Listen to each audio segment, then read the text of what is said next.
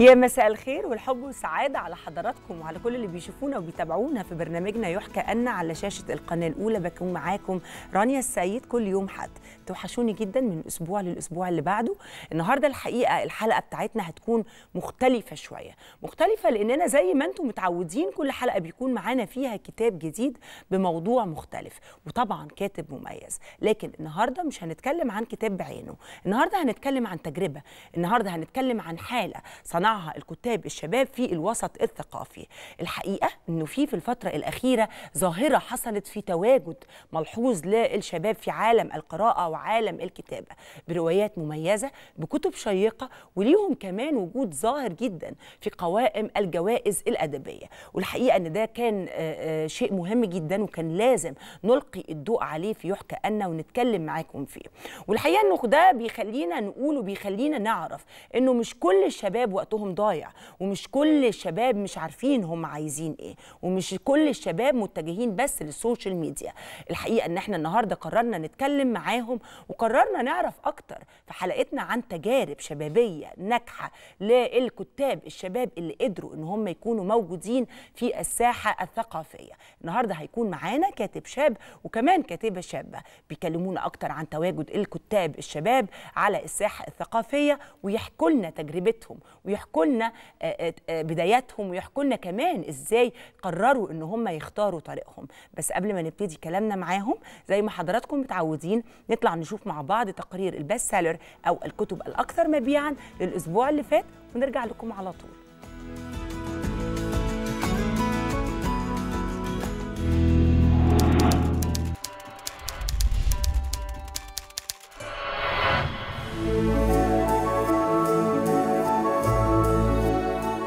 يحكى أن يقدم لكم الكتب الأكثر مبيعاً لهذا الأسبوع وفقاً لما نوهت عنه دور النشر في صفحاتها على مواقع التواصل الاجتماعي. جدير بالذكر أن حركة بيع وشراء الكتب لم تشهد إقبالاً هذا الأسبوع بسبب انشغال القراء بالاستعداد لعيد الأضحى المبارك. تنوعت كتب هذا الأسبوع بين الروايات وكتب التاريخ والتنمية البشرية. يتصدر قائمة الكتب الأكثر مبيعاً كتاب علاقات خطرة للكاتب الدكتور محمد طه ويتناول أنواع وتفاصيل العلاقات الإنسانية المؤذية لأصحابها وكيفية التعامل معها. يأتي في المركز الثاني كتاب أم كلثوم وسنوات المجهود الحربي للكاتب والناقد الموسيقي كريم جمال وهو محاولة للبحث عن وجه آخر لكوكب الشرق وكشف خفايا سيرتها. تحتل المركز الثالث رواية أوراق شمعون المصري للكاتب أسامة عبد الرؤوف الشاذلي والتي يأخذنا فيها الكاتب إلى حدث ديني وتاريخي هام تختتم قائمة الأعلى مبيعاً برواية الكاتبة نورة ناجي سنوات الجري في المكان وتدور أحداثها حول العشر سنوات ما بين ثورة يناير وفيروس كورونا ومدى تأثير هذه المرحلة على جيل كامل.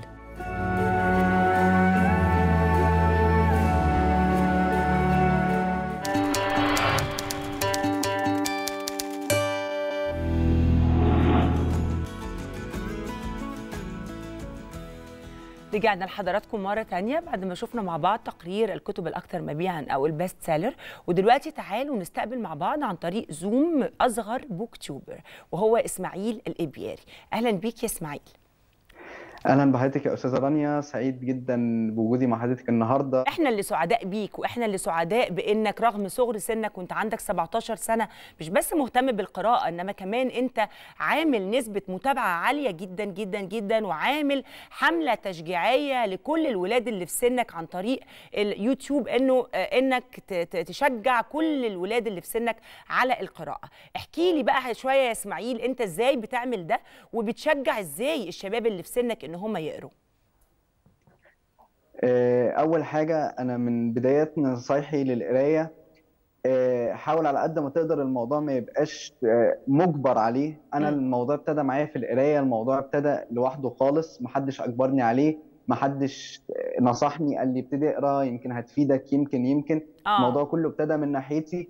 وحتى بعد كده موضوع الفيديوهات والبوك تيوبر برضو الموضوع ابتدى من ناحيتي أكتر لأني حسيت إيه؟ أنا كان دايما عندي شغف في فكرة عمل الفيديوهات فحسيت إن أنا ليه ما اعملش محتوى فعلا يكون مؤثر ومهم وبحاجة أنا بحبها زي القراية وأنا. طبعا كمان من يعني بعد القراية ابتديت كمان أحب التحليل أكتر وأكتر فحسيت إن ده ده بيكمل ده في نفس الوقت وطبعا جميل. إيه بحاول على قد ما أقدر الفيديوهات آه، أنا مش بقول إنها تشجع حتى على ال BookTube ولكنها تشجع على القراية عموما جميل. انت بتعمل ال videos دي فين؟ بتعمل ال videos دي على يوتيوب على social media يعني بتعملها فين؟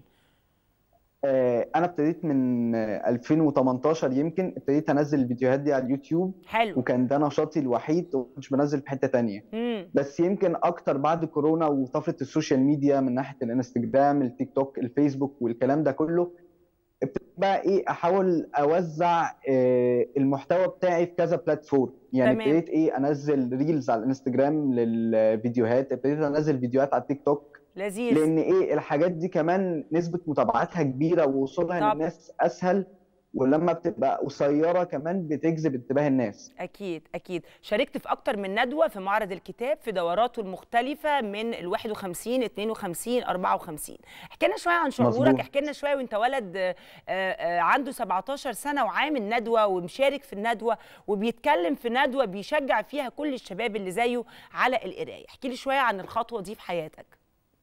والله حضرتك بالنسبة لأول ندوة فده كان فخر كبير جدا للواحد لأن أنت تخيل أنت في سن ما بين 13 ل 14 سنة وكل اللي معاك في الندوة يعني على الأقل كاسرين ال 20 سنة وفي صحفيين وكتاب وهكذا أشياء وأنت طفل عندك 14 سنة بيتم سؤالك وبيتم أخذ برأيك وبيتم استضافتك أصلا في معرض الكتاب القاهرة الدولي اللي أنا أصلا يعني ما كنتش أتخيل من نقول مثلا وأنا عندي 11 12 سنة إن أنا ممكن أبتدي أروح معرض توصل لدرجة إن أنا يتم استضافتي في المعرض.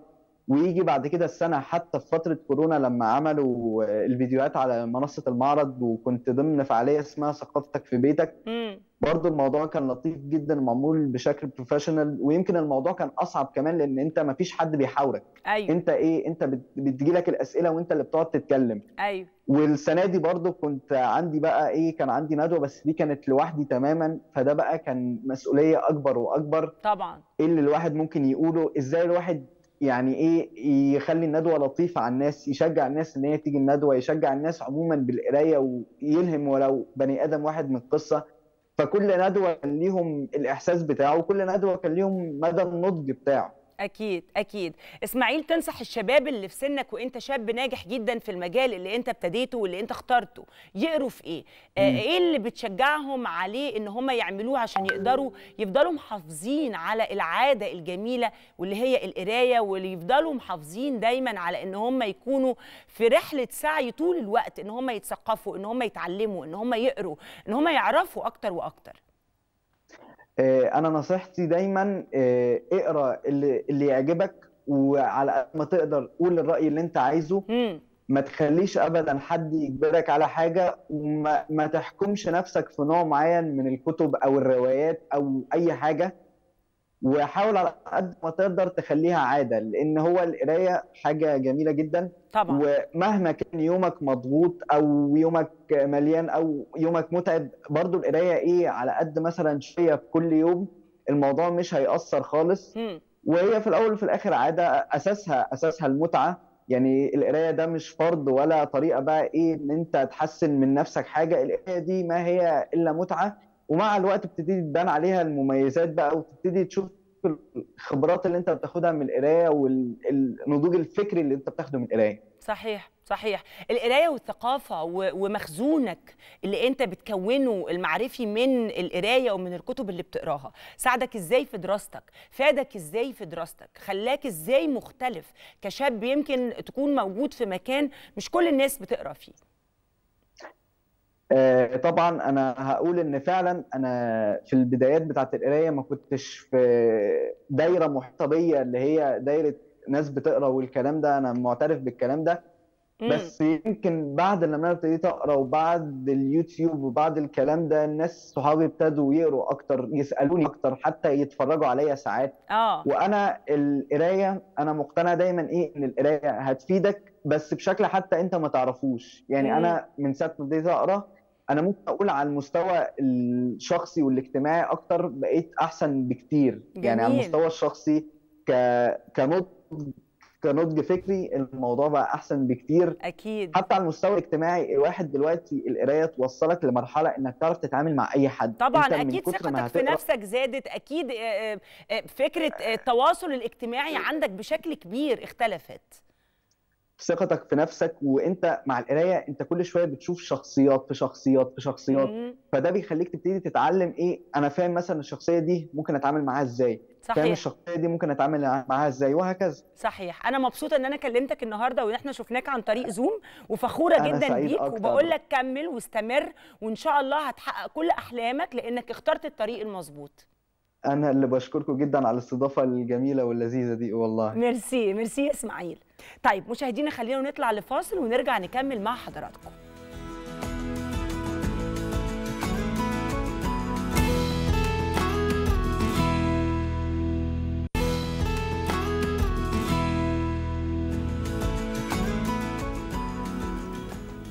رجعنا لحضراتكم مرة تانية وزي ما قلنا في بداية الحلقة ضيوفنا النهاردة من الكتاب الشباب اللي هنتكلم معاهم عن وجود الشباب وبقوة في الوسط الثقافي. والحقيقة أنا على المستوى الشخصي سعيدة جدا بيهم سعيدة جدا بمجهودهم سعيدة جدا بطموحهم اللي هم قادرين إن هم يحققوه وهم في السن الصغير ده. خلوني أرحب بضيوفي الكاتب الأستاذ الشاب الأستاذ يوسف الشريف صاحب رواية الصناديقية. أهلا بيك يا يوسف. أهلا بيك. والكاتبة الشابة الجميلة الأستاذة هنا خليل صاحبة كتاب وراها حكاية. أهلا بيكي يا أهلا هلا بحضرتك. منورنا؟ سعيدة جدا بيكم سعيدة جدا بمشواركم اللي قررتوا إن أنتوا تبتدوه. آه عايزة في البداية كده كل واحد منكم يحكي لي إمتى ابتدى المشوار؟ إمتى ابتدى المشوار معاكي هنا؟ وامتى قررتي انك تمسكي قلم وتكوني مشروع كاتبة بتبتدي آه، آه، مشوارها من وهي صغيرة في السن ده؟ طيب ابتديت أكتب آه أنا حد ما بيعرفش خالص يعبر عن مشاعره امم فكان اقتراح من لايف كوتش إن أنا أبتدي اجورنال أو بمعنى أصح إن أنا أفرغ الكلام اللي في دماغي أو الحاجة اللي مضايقاني على ورق. فدي كانت أول مرة خالص أجرب إن أنا أكتب أنا حاسة بإيه وإيه اللي مضايقني وكده. ومن هنا كانت فكرة إن أنا أبتدي أكتب آه كتاب تنموي عن الحاجات personal experience حصلت. التجارب الشخصية. آه التجارب الشخصية اللي أنا مريت بيها. آه. آه، اللي خلتني ممكن أكون حد ناضج شوية واللي خلت عندي زي اكسبيرينس تجارب أو تجارب مشاعر أو- بقى عايزة تطلعيها. بالظبط والناس آه. تستفيد منها وإنها تبقى حاجة تنموية وحاجة بتبقى آه، يعني بتحصل خلال جيلنا. يعني هي مشاكل بتواكب جيل كامل. آه، فهي مشاكل موجودة في جيلنا بت... آه، بت... يعني جيلنا بيواجهها كمان بشكل كبير قوي. فأنا قررت ان إن دي حاجة تبقى تنموية تساعدهم إن يحسوا إن هم مش لوحدهم. مش. إحنا مش أنا بس اللي عديت بالمشكلة دي لأ ده في ناس كمان حواليا. جميل. فدي كانت فكرة الكتاب. دي كانت البداية. دي كانت دي البداية. كانت البداية. يوسف. آه أنا أصلا إمتى ابتديت القصة؟ إمتى ابتدت الحكاية معاك؟ إمتى قررت إنك تمسك قلم وتكتب وتقول أنا ممكن في يوم من الأيام أكون كاتب؟ آه أنا أساسا متربي في حي الجماليه آه اللي هو أكيد في نجيب محفوظ فأنا دايما بسمع الاسم دوت من وأنا صغير. آه بعد كده لما كبرت أو بدأت أقرأ فكنت بقرأ لنجيب محفوظ من وأنا صغير. آه وبعد كده اتعرفت على عالم جمال الغيطاني اللي هو أيضا آه من مواليد نفس الحي ده انت داخل على تقيل يعني ده انت ابتديت مع طبعا أدباء وكتاب يعني يمكن ليهم مدارس خاصة في الكتابة وتحديدا عن الأحياء الشعبية ومصر وإزاي أظهروا الحارة المصرية وإزاي أظهروا ال- ال- الجمال المصري. بطريقتهم الخاصة جدا بالظبط ولذلك آه. بنبسط جدا لما حد بيكتب مثلا عن روايتي ويقول إن هي يعني فيها من العالم بتاع نجيب محفوظ أو آه. جمال غيطاني آه. وهكذا. جميل. أنتوا خريجين إيه بس الأول؟ عايزة أعرف انت بتدرسي إيه وأنت بتدرس إيه؟ أنا خريجة marketing marketing؟ تمويل آه آه، من تسويق. تسويق. ويوسف. information system information معلومات. بالظبط. معلومات. okay. انت مريتي بتجارب أو انت قلتي إنك مريتي بتجارب وبالتالي التجارب دي هي اللي خلتك تقرري إنك تكتبي مم. وتطلعي مشاعرك. مظبوط. ده كان ليه علاقة بكتابك وراها حكاية؟ أوه. هل ده كان شبه ده؟ ولا التجارب هي اللي خلتك ابتدي تكتبي بس وراها حكاية موضوع تاني؟ لا وراها حكاية ده كان آه، لا يعني كلها حاجات أنا مريت بيها.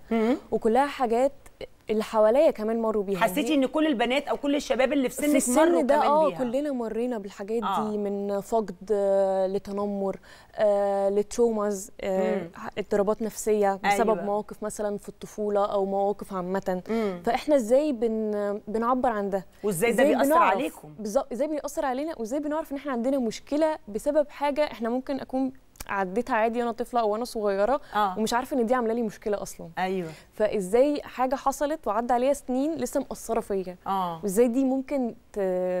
تأثر بقى عليا أنا. كهنا كعلى سلوكي الكلام ده كله. طب وانت إزاي عرفتي ان انت عندك مشكلة في الحاجات دي كلها؟ يعني إزاي وصلت لك المعلومة انك عندك أنا مشكلة م- والمشكلة دي محتاجة انك تكتبي أو المشكلة دي محتاجة انها تترجم على أنا ورق؟ كنتش عارفة إن أنا عندي مشكلة. آه. يعني حصل مشكلة في حياتي بس أنا ما أعرفش إن هي ممكن تكون مؤثره عليا أو حصل كذا موقف آه. فبقيت اللي هو أنا مش عارفة وأنا متضايقة بسبب أنهي حاجة من الحاجات دي. مم. فلما اتكلمت شوية مع life coach فلا أدركت إن مثلا المشكلة الفلانية حصلت بسبب الموقف اللي أنت حكيتيه. وده بي indicate السلوك أو بي بيعرف السلوك اللي أنت انت ليه دايما بتقولي كذا أو. بتعملي كذا.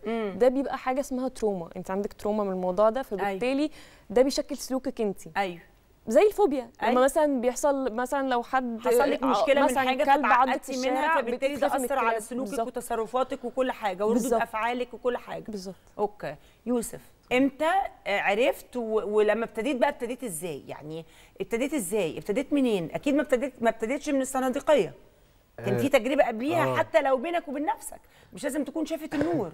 آه آه، يعني أنا بدأت الكتابة آه، وأنا عندي 17 سنة تقريبا. 17 سنة. آه كنت يعني بعد زي ما قلت إن هو بعد قرايات كتيرة في أكتر من في الأدب الكلاسيك تحديدا يعني نجيب محفوظ وجمال غيطاني طه حسين توفيق الحكيم الناس دول كلهم. حلو. آه كنت وبالذات نجيب محفوظ كنت متأثر جدا بلغته وبأسلوبه وكمان إن هو بي بيتكلم عن عالم أنا عايش فيه وشايفه.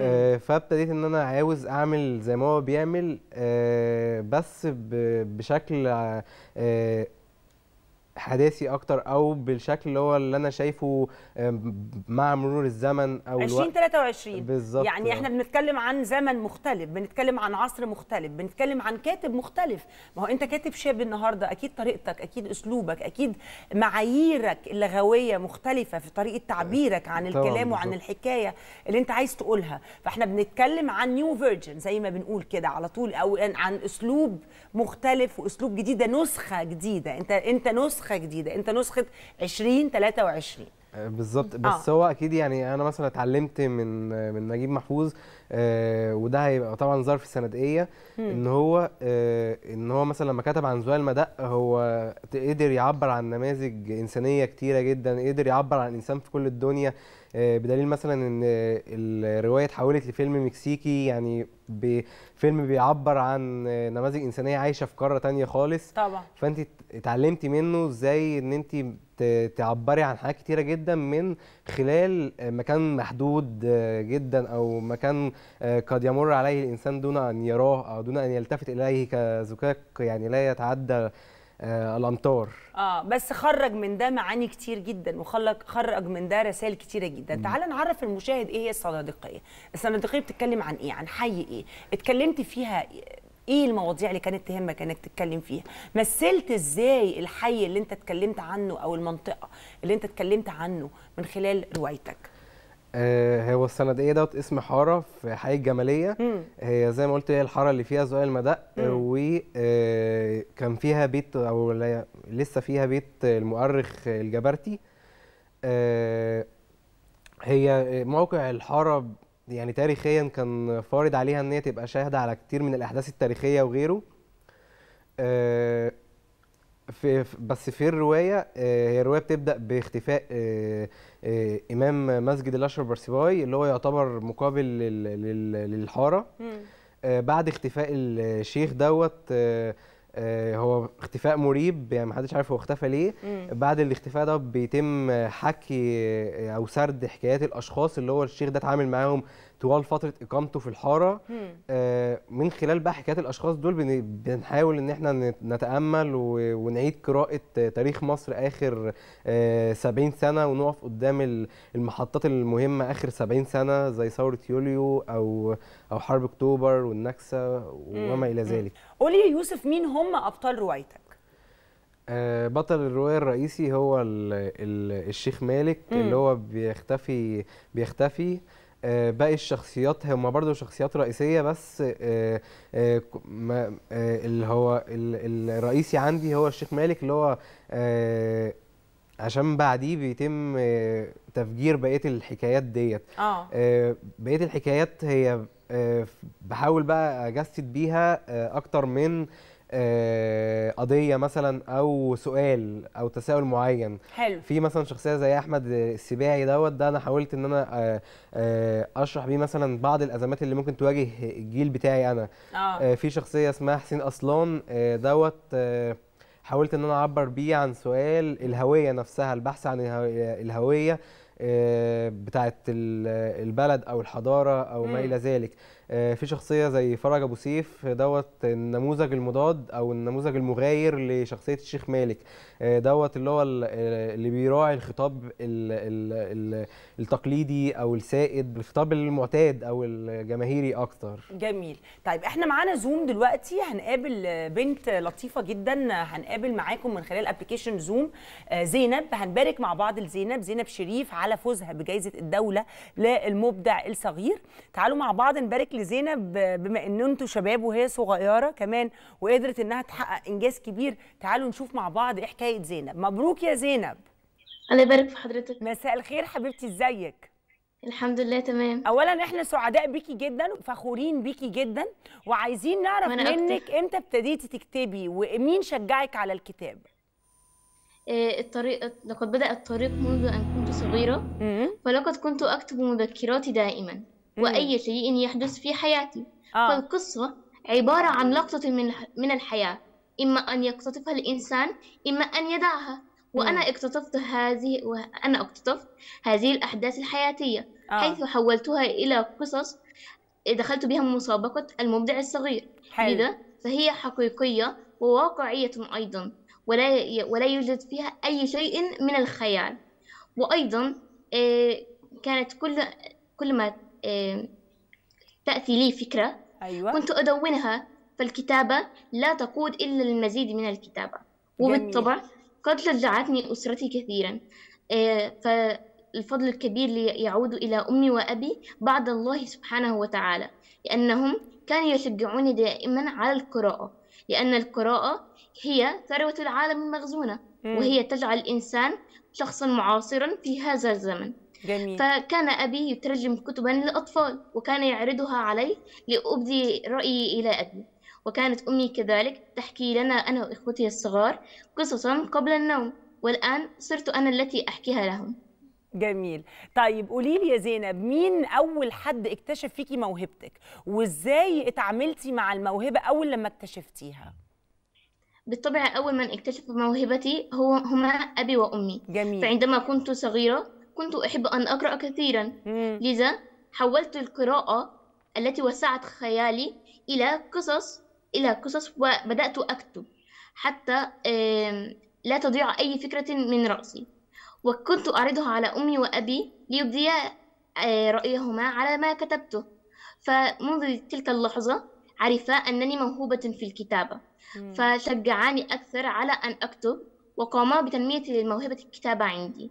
وبدأت أنا أيضا أست... أقرأ كثيرا إلى مؤلفين القصص مشهورة آه، مثل مؤلفين قصص مكتبة المكتبة الخضراء آه، التي منها بدأ يتوسع خيالي أكثر فاستطعت أن أكتب طيب دي مش أول جايزة ليكي فزتي قبل كده نعم. بالمركز الثاني في مسابقة المشروع الوطني للقراءة كلمينا شوية عن نعم. الجوائز وقد إيه انت بتفرحي لما بتفوزي بجايزة وبالنسبة لك قصة الجايزة دي بتفرق معاكي قد إيه بالطبع الجوائز تجعل الإنسان في آه، قمة مرموقة. تجعله مشهورا الكل يعرفه ويشير عليه مبدين آه، علامات الإعجاب أن هذا الشخص آه، صار قدوة لأشخاص آخرين صح لذا فكنت أريد دائما أن أشترك في المسابقات التي تجعل مني شخصية مرموقة وتعود من وتعود على النفع لي مم. لذا عندما وجدت جائزة الدولة المبدع الصغير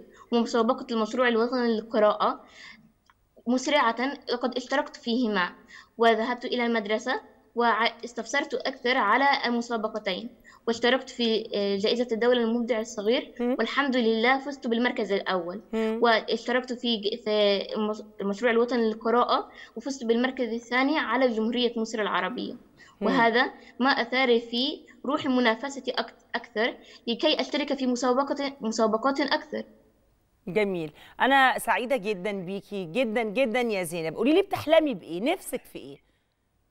أريد أن أكون عالمة في مجال الهندسة, الهندسة المعمارية حتى أكمل حلم المعماري المشهور حسن فتحي في بناء عمارات للفقراء. وكذلك أيضا عمارات تكون صديقة للبيئة حتى تعود بالنفع على جمهورية مصر العربية.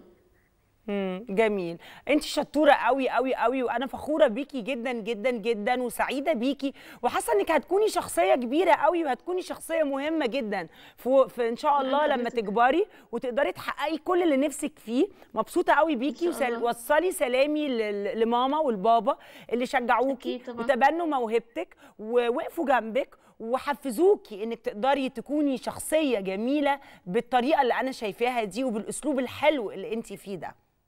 شكرا لحضرتك. ميرسي يا حبيبتي ميرسي يا زينب. طيب خلونا نطلع لفاصل ونرجع لحضراتكم على طول.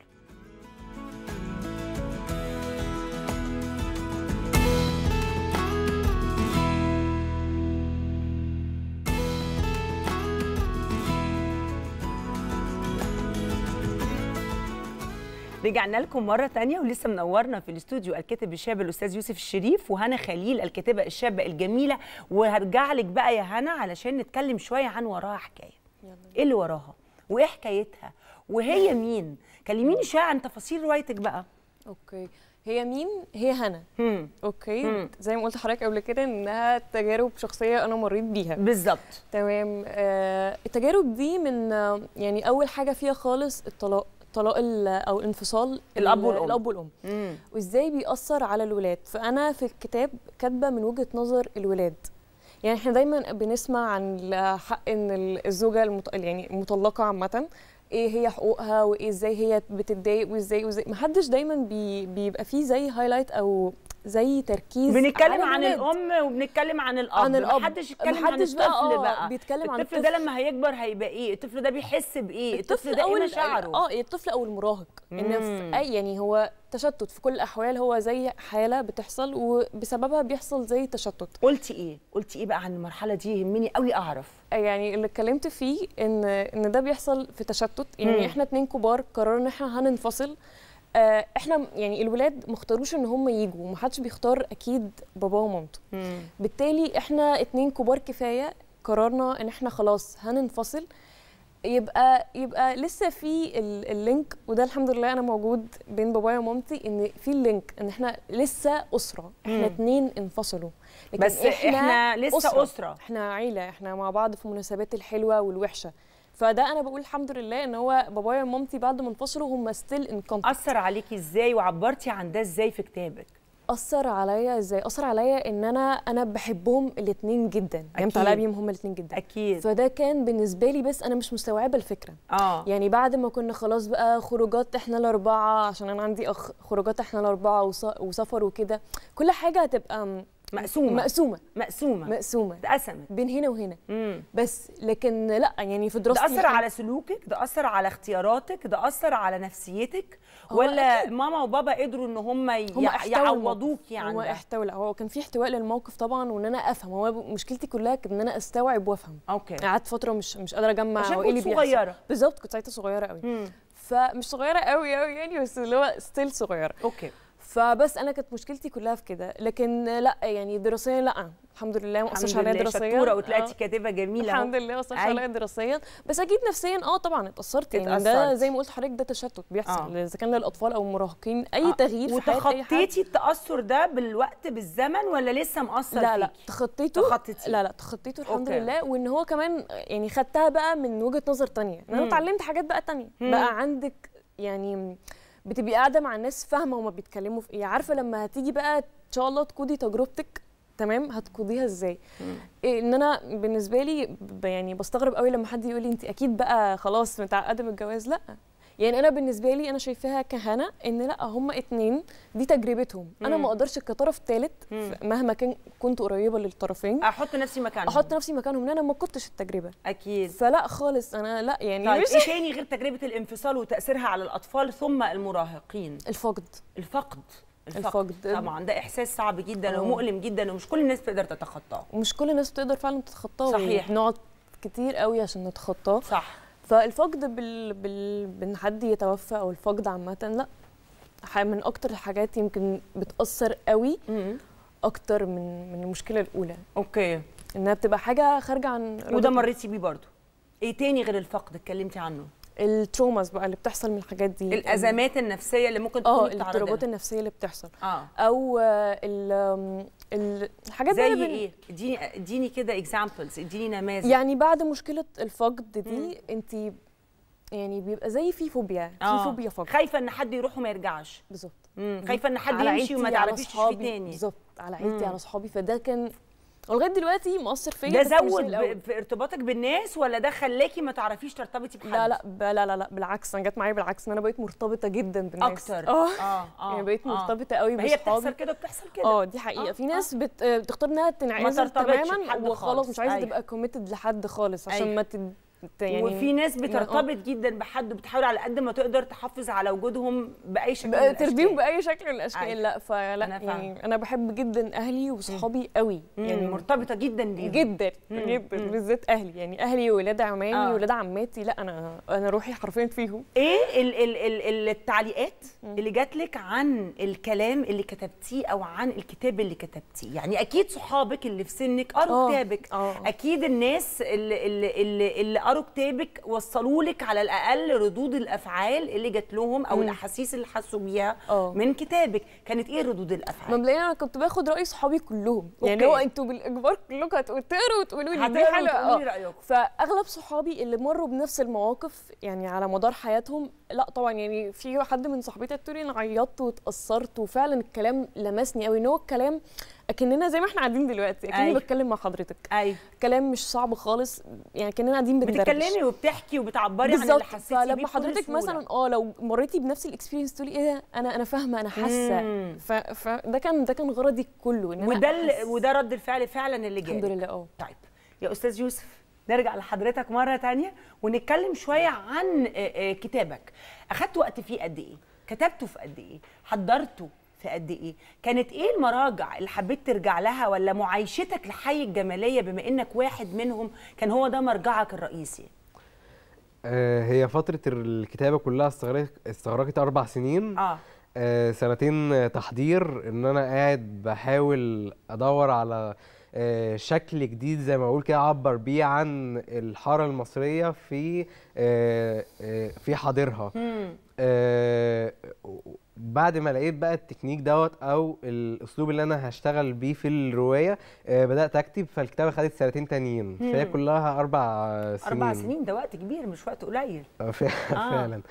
آه آه بس. مم. أربع سنين. أوه. أربع سنين حضرت وأربع سنين كتبت. وأنت بتكتب بعد ما وصلت لكل التفاصيل اللي أنت عايز تكتبها لقيت إيه اللي اتغير في الحارة المصرية؟ آه هو يعني آه الجوهر بتاع الحارة آه لسه ما اتغيرش. الجوهر. آه. آه. لكن اللي اتغير هي بعض التفاصيل اللي طرقت على الإنسان المصري عموما أو الإنسان في العالم كله بسبب التغير العصر. يعني مم. مثلا في الوقت اللي كتب فيه نجيب محفوظ ما كانش فيه موبايل ما كانش فيه social media ما كانش فيه ما كانش مثلا عدد المتعلمين أكبر. فهو دي بس الحاجات اللي طرقت دلوقتي.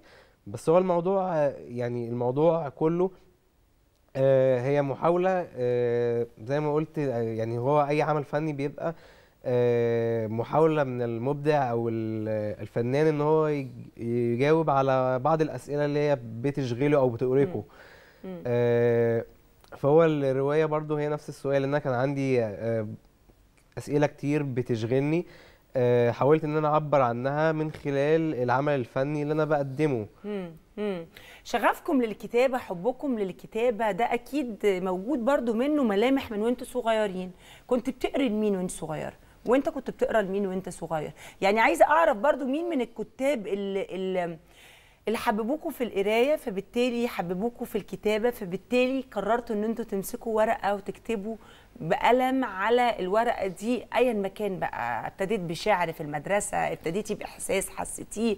يعني احكوا لي كده مين اللي أثر فيكوا وحرك عندكم الحتة دي؟ أنا كنت بحب قوي أقرأ لدكتور محمد طه. وميرنا الهلباوي مم. ونورهان ابو بكر يعني مم. كلهم الثلاثه كتاب شباب برضه آه كلهم كتاب شباب أيوة. وعندهم آه، آه، طبيعتهم الخاصة في التعبير آه بالظبط أيوه وإن أنا بحس إن الكتاب اللي هو friendly speaking يعني ما فيهوش مف... مف... يعني كاننا قاعدين بنتكلم مع بعض بالظبط بالظبط فده بيبقى فاهماك. أقرب من ف- يعني بيبقى بالنسبة أقرب لك أكيد بالنسبة لي آه وبالنسبة بيبقى أقرب لجيلك لي إن أنا. أستوعب الكتاب مفهوم فدول مفهوم. بالنسبة لي كانوا وأنت يا يوسف بالنسبة لي هو طبعا زي ما قلت نجيب محفوظ وجمال الغيطاني بادئ كبير آه. يعني هو أنا فعلا من وأنا في المدرسة وأنا بقرأ يعني أيوة. أول كتاب حتى قريته خالص كان أيوة. هو آه، كتاب الجريمة لنجيب محفوظ ده كان أول كتاب قريته في حياتي آه آه، بعد كده يعني مثلا بقى في المرحلة بتاع الثانوي دي بدأت أقرأ في الفلسفة ف يعني يعتبر أنا دارس للفلسفة بس مش بشكل أكاديمي يعني. قريت لكل الفلاسفة فدول طبعا أثروا فيا جدا. جميل. أنا سعيدة بيكم سعيدة بتجربتكم سعيدة بالشباب اللي كانوا منوريني النهارده اللي في يوم من الأيام أكيد هيكونوا كتاب كبار. آه آه وتفتكروا بقى وقت ما ابتديتوا وتفتكروا حكايتكم ابتدت إزاي من البداية. نورتيني هنا. ميرسي هنا أنا خليل. وراها حكاية دي كانت آه الكاتبة الشابة الجميلة اللي كانت منورانا النهارده يوسف الشريف. ميرسي يا يوسف. نورتنا وصاحب رواية الصناديقية واللي كانت بتتكلم عن حي الجمالية والأحياء الشعبية والحارة المصرية. عايزة أقول لكم كمان إن هم كان عندهم آه، آه، نفس الكتاب كان مشارك في آه، معرض القاهرة الدولي للكتاب في دورته اللي فاتت 2023 مظبوط. بالنسبة لسنكم أعتقد إن دي كانت تجربة كمان مؤثرة جدا بالنسبة لكم. نورتوني وبتمنى لكم كل التوفيق. merci merci. حضرتك. مشاهدينا بكده بكون وصلت معاكم نهايه حلقتنا النهارده.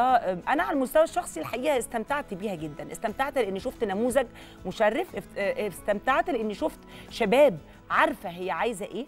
استمتعت لأني شفت شباب آه، آه، حلموا ونفذوا على طول. كان معاكم رانيا السيد بشكركم.